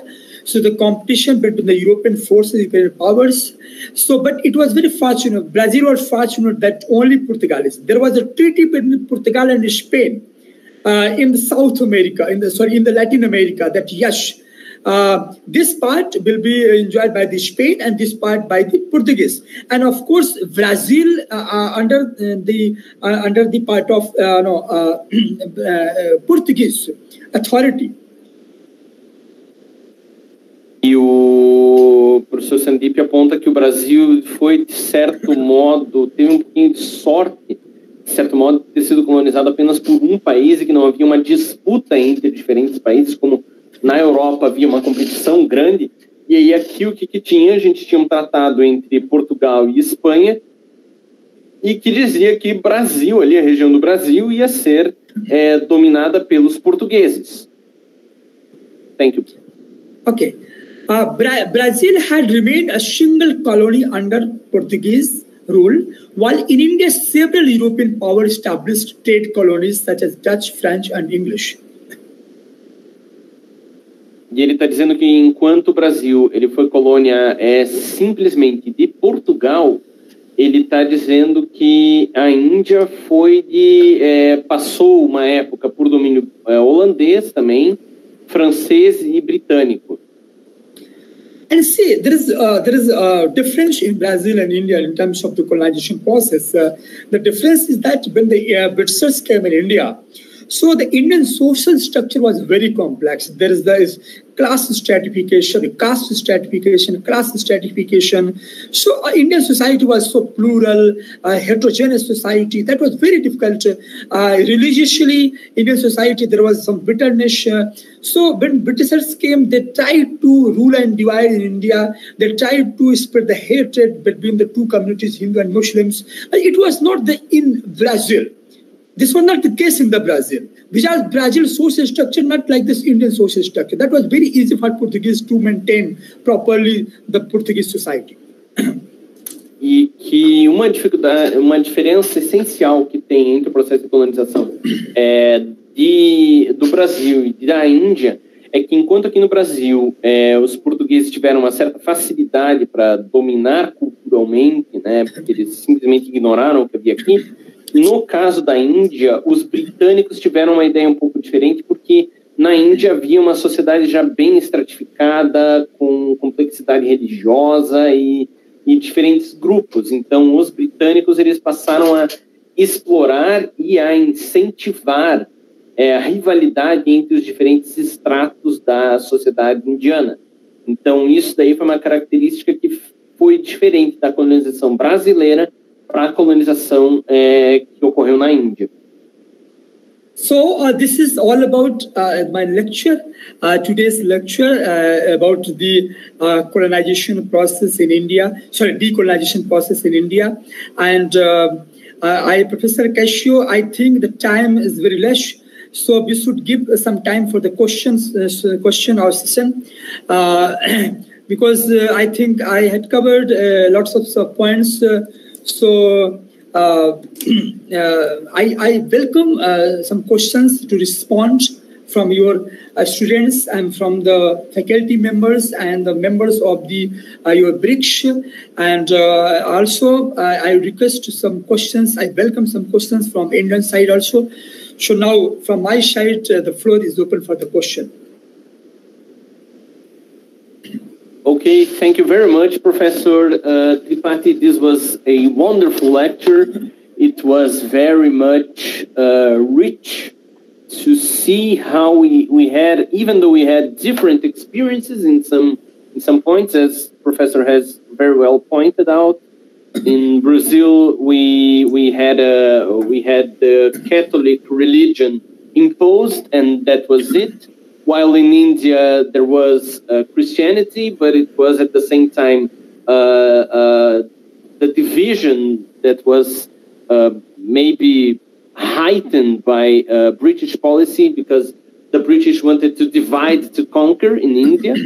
And uh, it was very, very rich discussion. I will present some questions from the students our student Alan, he has asked, I'll translate from Portuguese to English, uh, how did the uh, connection between India and other nations before independence worked? How was the economic connections set up? And how did Europe influence local uh, politics in India during before independence movement? And uh, so I don't know if professor would like me to do all the questions now and then uh, the professor would answer, or if we would do each question separately. I think how how it would be better for you, professor. Now, see, I welcome all the questions. I I'll try to respond all the questions because the question we are Indians are very love for the questions our session. So I, I would like to question, but uh, please, uh, I, I request you to brief the question. If the question will be brief, it would be very, uh, uh you know, I, I will be comforted to respond the brief question. So can okay. you repeat against? Can you repeat so, against? Okay. Yes. Uh, how did Europe influence local Indian policy before the independence uh, was achieved? Sorry, uh, how, how, was how was uh, how did Europe influence? How did European uh, nations? How did the British influence India uh, politics, local politics before independence? How was uh, Okay. the, how are the politics before independence? Okay, okay, okay, okay, okay. See, uh, uh, as we see that uh, uh, this question is a very important question, and uh, uh, the European uh, began to influence Indian politics onwards the no onwards the 1600. Uh, like uh, first of all, the policy of divide and rule. First of all, they appeased Muslims. Then they tried to appease the Hindus and okay because uh, they, they, they wanted uh, some kind of loyalty on the base of uh, on the base of ethnicity on the base of caste on the base of uh, no, class on the base of religion. So they they knew very well that india is stratified india is so classified. So uh, they were convinced that it is very easy to manipulate india on the basis of identity so that was that was the policy of European countries, especially the British, to divide and rule. Então, que ah, o professor Sandip está explicando, Alan, que é, o que os britânicos fizeram foi se aproveitar especialmente da, ah, da sociedade estratificada que havia na Índia, né? Então, especialmente aí, primeiro eles tentaram agradar aos muçulmanos, depois eles tentaram se aproximar dos, ah, dos hinduístas, e a ideia era se aproveitar de divisão de casta, incentivar para dividir a sociedade indiana de uma maneira que eles pudessem conquistar. Então, a política era através da aproximação com diferentes grupos para tentar fazer com que um brigasse contra o outro e aí os britânicos surgissem como a fonte comum, digamos. Um, uh, so I translated, Professor. I will go to the next question. Um, professor uh, from our faculty, Professor Cristina Borges, uh, she said that here in Brazil, we, today we don't have we we have rice, a lot of rice, but the prices are so high because we have a very strong export culture. So we even though we, we produce a lot of rice, we export it. And the, the result, is, this is a reflex from our colonial period until today, and that the result is also famine. So we also have famine here in Brazil, even though we produce a lot of rice, we because we export and the price is very high. I think uh, Professor just made a small comment and not a, a question. And another student of us, uh, prof, uh, student João Humberto, he asked us, uh, Professor, uh, how and how much Tolstoy and Professor, can, so, uh, can can I respond one by one, one by one question? yes, yes. Um, So so if you'd like to, co- to comment uh, what Professor Yes, I, I'll welcome. said. yes, I'll, I'll I'll make comment. Can you can you again brief the you know uh? Yes, uh, Can you brief? Professor Professor Cristina, she said that here in Brazil we are a very big rice producer. We produce a lot of rice in Brazil, but we uh, the prices are very high because since we were a colony, we have developed uh, export culture. So even though we produce a lot of rice here, the price is very high because we export all the rice to abroad. Okay. So Okay, this okay, was thank her you. consideration. Thank you. Thank you so much. Thank you so much. See, uh, it's a very uh, irony. It's a very unfortunate uh, that uh, uh, Brazil is known for its rice as well as the sugar, and uh, just like in India. Uh, in India, uh, we are, we are India agriculture-oriented country, agriculture, agriculture-driven country. Yes, uh, people are dying. Uh, yes, this is this is unfortunate. This is paradox sometimes uh, you are know you are the biggest producer of some crop like uh, like in brazil you mentioned the rice. But the, due to the exporting culture uh, government try to you know export government doesn't pay a, proper pay for those who are the producer of the crop So this is somewhat I feel, I strongly feel that this is colonial legacy. Sometimes when we criticize the government just because of the mindset up, just because the mindset up, though we are still a free country, but the who are let me let me let me uh, let me uh, quote a very important line in this comment. Uh, uh if the politics decides the destiny of the nation, who will decide the destiny of the politics? So, so this is what. so this is what. Let me. This is what. Uh, uh, this is what Macaulay uh, quote that. Uh, uh, color and uh, skin, they are Indians, but mind and taste, they are still colonized. This is because of the things that are happening. Ele aponta, o professor Sandip, que é extremamente irônico, não deixa de ser irônico que muitos países, tanto o Brasil quanto a Índia, sejam grandes produtores agrícolas, mas que por conta dessa mentalidade colonial a gente acaba exportando isso. E ele mostra que, olha, aqui ele falou do caso do arroz no Brasil, da, da cana-de-açúcar do Brasil, e ele fala que, olha, é, isso daí é uma questão dos governos, né? Enquanto o governo não, não fornece condições, não ajuda, não incentiva, não dá a menor condição para você ter é, uma economia local, a venda local aqui, isso daí não vai, é, não, não seria resolvido. E aí ele cita o que um colega dele falou, que é, se os políticos decidem os rumos da nação, quem é que vai decidir o rumo dos políticos, né? É, foi a frase que ele falou.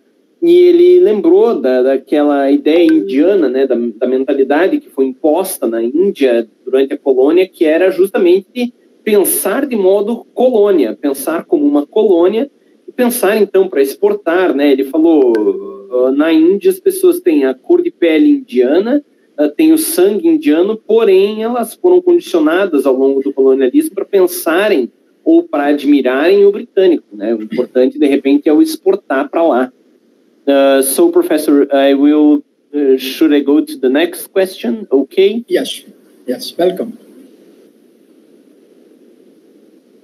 Uh, our colleague from uh, our student he uh, congratulates you, Professor, for the excellent lecture. He is very glad.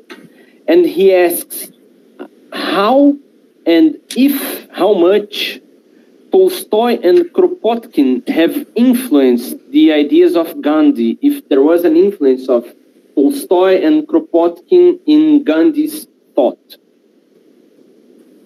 Uh, one minute. Uh, is it English?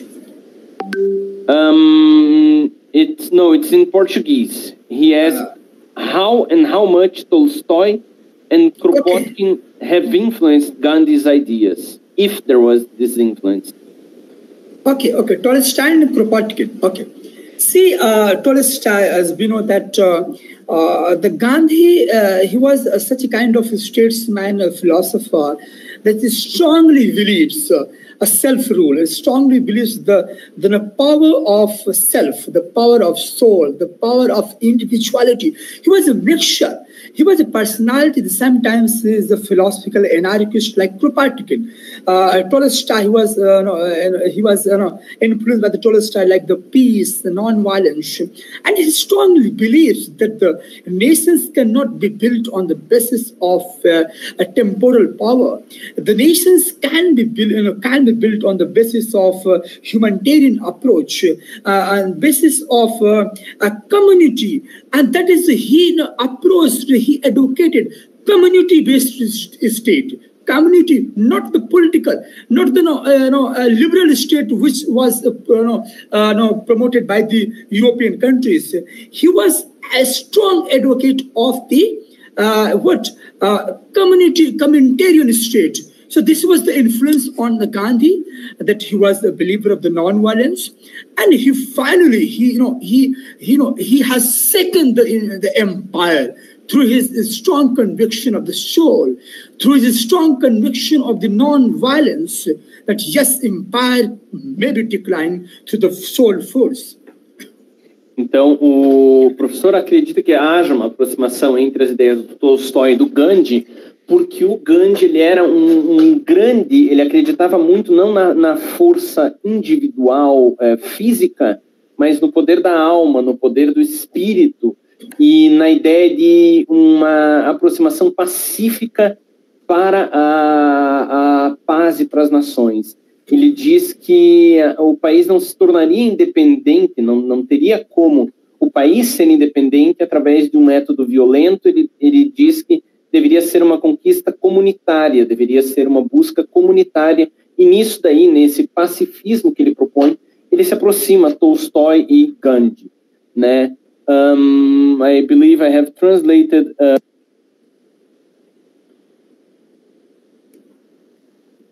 uh, Emílio, Emílio, você tem uma é pergunta tua ali? Desculpa. Oi, bom dia. Sim, é pergunta um, sim. É pode que eu fazer, acho que eu, pode fazer a pergunta em inglês até, Emílio, se quiser. Hello, Emílio. Okay. Hello, professor. Thank you for for presenting. I found it perfect, and it's a pleasure for me to be listening to you one more time. I was studying about the about industrial policies uh, in India, and I, have uh, read the resolution uh, dated of 1956. It was uh, aiming to nationalize uh, foreign companies as a conception of um, uh, concre- uh, concreting uh, or concluding the process of independence. So my question, in five years plan after independence. So uh, my question was, what was the role, and if it was successful, of this nationalization of foreign companies after political independence uh, to our to our concept of decolonization? Uh, uh, Professor Emilio, can you again repeat your question? I'm, I'm questioning what is the importance of nationalization of foreign companies after independence to the process of decolonization. Because after independence, India has started to nationalize foreign companies as a, as a way to conclude the process of independence. So I, I am questioning if this is important for decolonization for our conception of decolonization and what was the function of this activity in economic field? Uh, see, uh, you know that uh, the first point that after independence, India adopted uh, uh, the five-year plan. Okay, and the five-year plan it was aimed uh, and it was inspired by the socialist philosophy.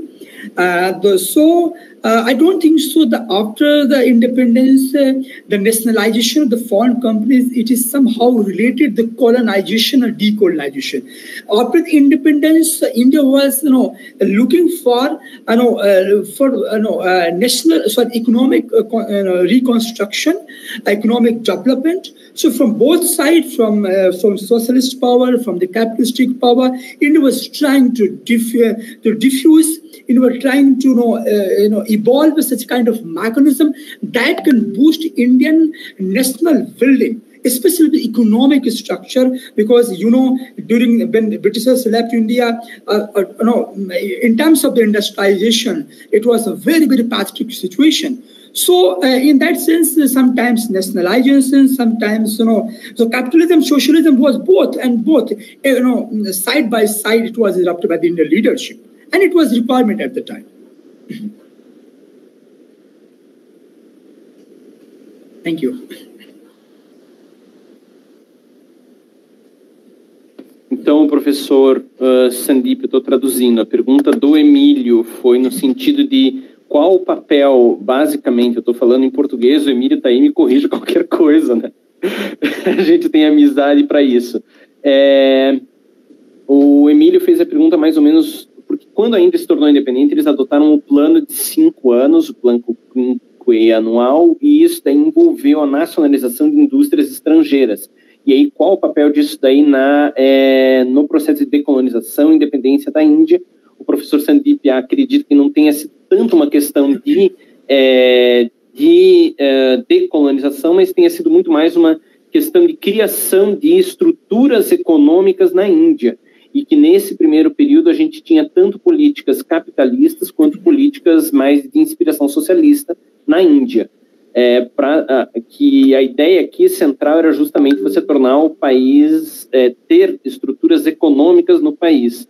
Eu acho que foi mais ou menos isso que foi discutido aí, Emílio. Espero que tenha sido correta a minha interpretação das suas perguntas. Foi, foi exatamente isso que eu perguntei, sim, o Cássio. É, era a inspiração dita socialista, né, depois, e pra, que para alguns uh, seria um projeto de conclusão da independência de descolonização, você nacionalizar e reduzir a independência econômica. E para o professor foi mais uma questão de momento mesmo, de reconstrução, redefinição econômica. Uhum. Mas obrigado pela, pela, pela função de tradução aí. Um abraço. So, uh, what, what Emilio was saying, professor, was that uh, basically there was this discussion if this was a part of the independence process or if it was a moment process. So uh, he thanks you for the the, the information. Um, Professor Cristina Borges, she uh, she commented, she thanked your uh, position, and he she has a last question. Um, how is the interpretation of society?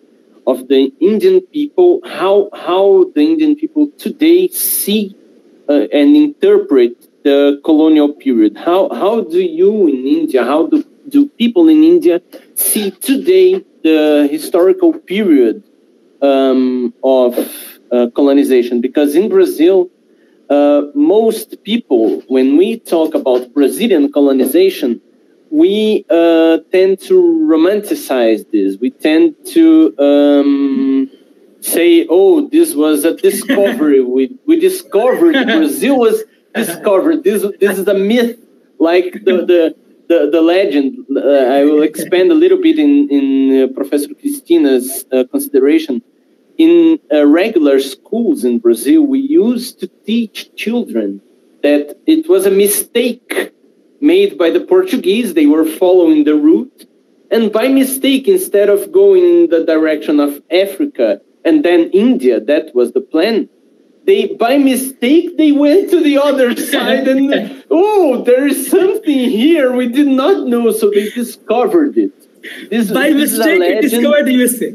Yes. By they, mistake, discovered yes. everything was mistake and, and uh, it's it's so crazy, Professor, because uh, the word that the Portuguese use, the legend says that we use the word índios for to refer to the native Brazilians who were here. We use the word índios because they say the Portuguese arrived here. They thought they were in India, and then they said, "Oh, India, India," and then the people said, "India." And then this is why be, uh, uh, the people in here in Brazil they started to be called Indian.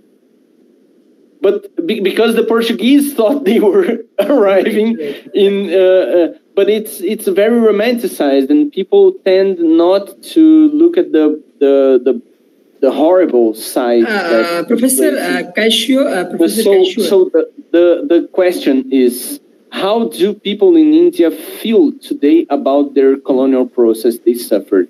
I see. Uh, Professor Kais is a very, very interesting question. I think this is the uh, gist part, this is the spirit of this uh, entire whole lecture. Uh, as far as the uh, Indian, Indian people concerned about the colonial legacy or history, so people are very, very different. Uh, people, I think, is a very diversity of opinion uh, about uh, some section. There's some Orientalist, Orientalist that they they know uh, like uh, like Indian scholar like Shashi Tharoor. He says the Brit- Britishers destroyed the essence of Indianhood, and others uh, westernized mindset of uh, those who are educated, those who are colonized, uh, properly colonized under British rule, I don't know, they're mesmerized, like the rule of law, the constitution, and they mesmerized that Indian uh, British education system, modernization, and all that. So it's a kind of romanticism is also here, but. But individual people like me, I'm very, very critical on both sides. See, I believe, I strongly believe that it was accidental. Uh, something uh, famine, like I discussed my lecture 1943 famine in Bengal. Uh, how can one justify the Churchill's statement? Uh, so basically, see, uh, important point, if one is coming for the economic benefit, right? So economic benefit, it cannot create a sense of civilization. Uh, yes, indirectly it establishes. For example, in railway, in, in, in, railway construction in India, uh, there is a romanticism that British came and uh, they established the railway and modernization. So, my dear friend, this is my response. It was the mechanism to loot the India. It was mechanism to transport raw materials from the um, uh, British industrial process. What is romanticism on this? What is what is legacy? Yes, as I said, that this is the mindset of game. This is a game of mindset of this is a game of psychology. And this, this is a game is complex. The complex, the my culture is supreme. McDonald is supreme, the indigenous Indian culture. So who will break this chain? Who will break this stereotype? Yes, people like us. People like us who will think critically. Então, o professor Sandip agradeceu a pergunta, ele considera que essa daí é a essência da nossa discussão hoje. Ele diz que existem basicamente duas correntes na Índia, uma corrente que romanticiza, né, que tenta falar, ah, os britânicos trouxeram rule of law, a constitucionalidade, falam muito também do, uh, da construção de vias férreas na Índia, né, e existe um outro lado, que é o lado mais crítico, que diz como é que você vai justificar o que os britânicos fizeram aqui. E aí o professor Sandip se alinha nessa daí, é, nessa corrente mais crítica que diz, espera aí, e a fome de Bengal? Como é que como é que você justifica a fome, né?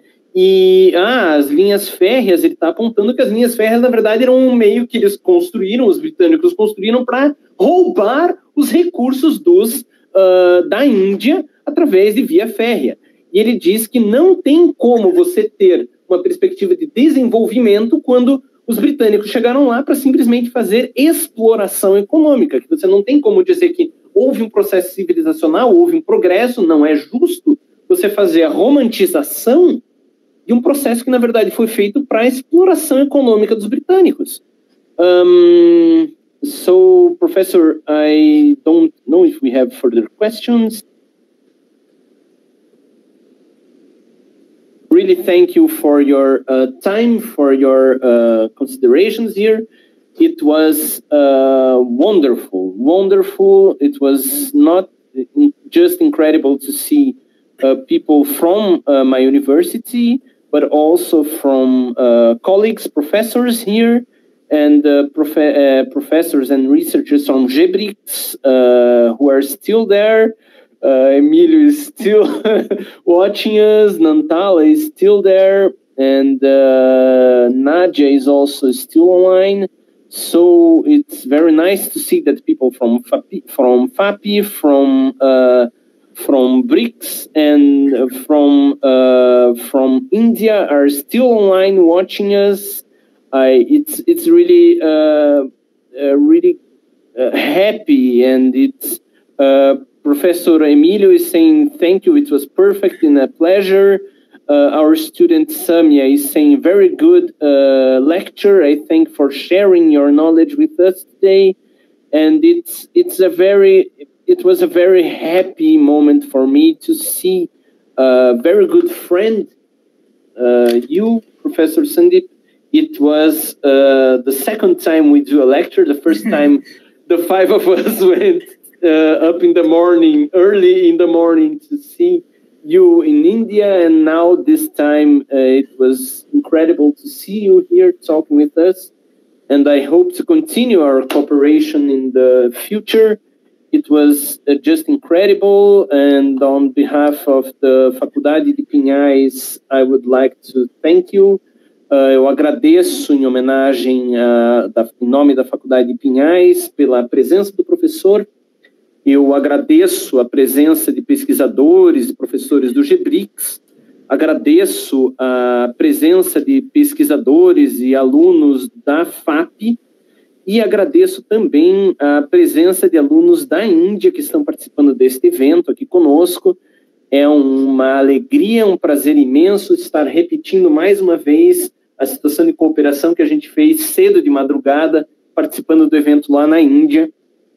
E eu espero que novos eventos aconteçam no futuro. E eu dou a palavra agora ao professor Sandeep. Professor Sandeep, I would like to give you again the floor if you would like to get, give any further consideration. And I thank you very much for the lecture and for your time today, this morning. Thank you very much. Uh, Dhanyavad. Uh, thank you uh, so much, Professor Cassio. Uh, thank you so much for your uh, giving time for the translation in Portuguese and uh, and uh, and I'm very very honored and delighted uh, today uh, that uh, I got this opportunity to share my uh, views on this topic with you all colleagues. And literally what what I am feeling that you all are very very warm and kind human beings. And this is though we are virtually interacted to each other but as, as you know, the Indians are very emotional. So I am very, very overwhelmed. Uh, I am very, very excited, thrilled uh, uh, to presence of your colleagues in uh, this program.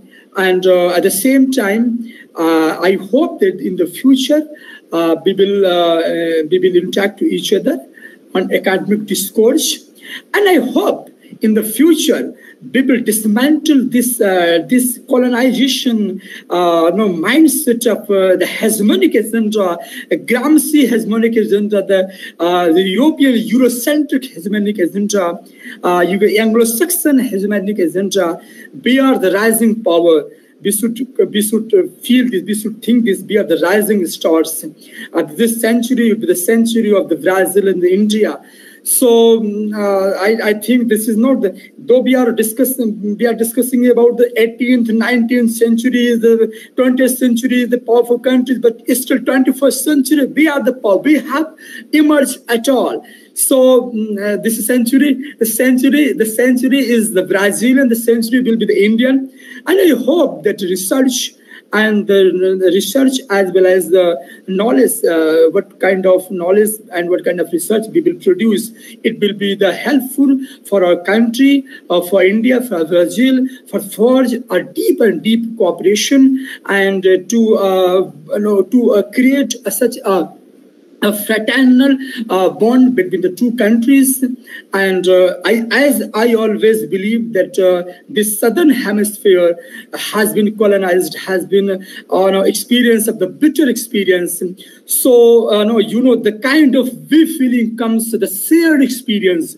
We have the same shared experience of the colonization process. the same Portuguese, the same British so it's the kind of shared history, the kind of shared bonding. The people cherish it, people enjoy it, and people consolidate it, people strengthen our nation uh, to each other, uh, and people serve humanity. Thank you so much, Professor Cassio. Thank you so much, Professor Emilio, and other uh, faculty members uh, from your uh, uh, institute, from BRICS members, and I look forward in the future same kind of lecture. Thank you so much. Thank you so much, professor. Pessoal, ele ele está dizendo que ele, como um indiano, ele é bem emotivo e ele está é, é, overwhelmed, é, é, é, extasiado por essa experiência. Ele acredita que a gente tenha que forjar cada vez mais vínculos de cooperação e amizade, porque somos países que passaram por é, processos pelo horror da, da colonização, né? Nós, países do Sul. E ele acredita que se hoje a gente falou do passado, né, que a gente tenha que pensar que, olha, esse século que está surgindo agora é o século do Brasil, é o século da Índia e que nós somos as estrelas em crescimento. E que isso daí significa cooperação é, científica, cooperação acadêmica em diferentes áreas para o desenvolvimento dos nossos países, para que nós possamos servir aos nossos países e para que nós possamos servir à humanidade. Um, so, Professor, I have just translated what you said. I thank you very much é, eu agradeço a todo mundo, toda a presença. Não é por nada, a gente está conseguindo quase hora do almoço aqui no Brasil. It's almost lunchtime, so um, it's incredible to see that people are still following us, and I thank you everyone. Muito obrigado a todo mundo. E eu dou a sessão por encerrada, so I now will close the session. I thank you very much, everyone, and I will make it available the recording of this meeting later, Professor Tripathi, and I I see you again in the near future. Muito obrigado, pessoal. Um ótimo dia para todo mundo. Thank you so much. Thank you. Thank you. Thank you. Oh, my camera is there. thank you. Thank you. Thank you so much. Thank you. Thank you so much. Okay, they are bye. they are all saying very uh, that it was an incredible opportunity. So Thank you. um, Thank you so much. Thank you very much, everyone. Thank you. Thank you.